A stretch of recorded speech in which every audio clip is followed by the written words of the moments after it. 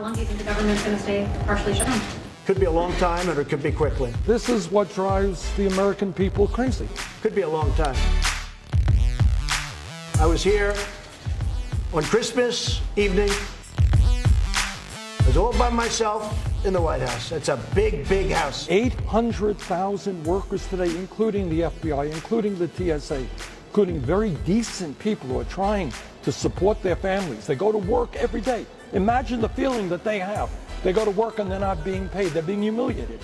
And you have a president who is much more interested in his own ego, in what people will think, than he is in terms of these 800,000 workers and the millions of people in this country who access those uh, services. So I think it's time for the president uh, to grow up and to listen to the needs of the American people uh, and not just his own ego.